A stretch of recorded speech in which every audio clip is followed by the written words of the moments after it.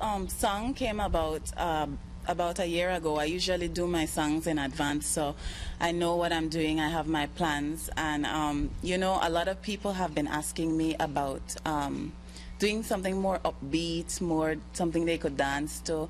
They know that I'm very soulful, and as you would know too, my music is a lot of it is is more um, slow R&B, even slower reggae music, you know. So I just decided to venture into something different.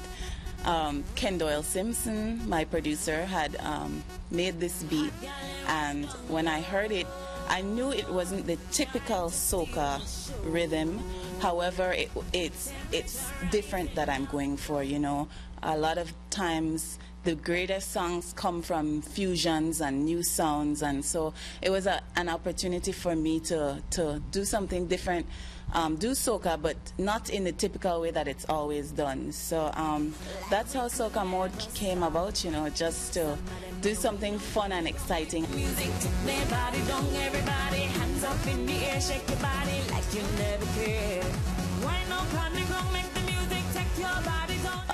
actually tapped a little into the choreography side of me. I don't know where it came from, but um, it, it came out and I worked with Anselma and Maggie who are great dancers, very professional and they also chipped into the choreography so it kind of came together with the concept of the video. We knew there had to be dancing in it so we just had to get it right.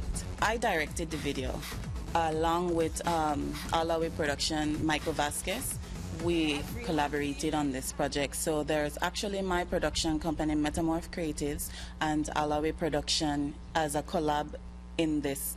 Um, the overall director, I, I had done the directing.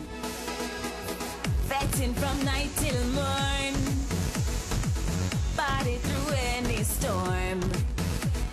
Oh, I make the music, body, don't everybody, hands up in the for me as an artist, I've learned to take it one day at a time and just do, you know, whatever I feel is best um, for me at that point in time, you know, that, that's appealing to, to my fans out there. And I try to keep them entertained because really at the end of the day, they're the ones that keep me going in, in music.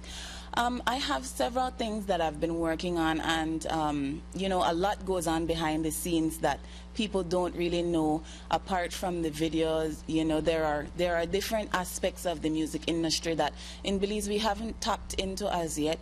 Um, but I'm tapping into those areas, and you're gonna be seeing that in the coming like 2015 and 2016 the sooner the better you know. But like i said i pace myself and i make sure that i take the time to do it the right way rather than put something out there that's not up to a certain standard. Because i believe that as belizeans we deserve the standard of any international um, country. It takes a whole lot of people to make a video like Soca Mode possible. And if I start calling names, I wouldn't be finished now. That's how many people it takes.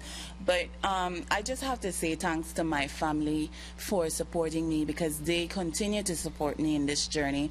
And um, a lot of my cousins, they're like my team players, they're my makeup artists, my, my sister and my brothers, they're very much into what I'm doing. So um, it takes a lot of people, you know, to make this possible. So I just want to say thanks to everybody who was involved in the Soca Mode project. Thanks for being a part of it. And to my fans, big up yourself, you know, this is for us. Everyone feeling hot, like we could never stop. Betting from night till morn.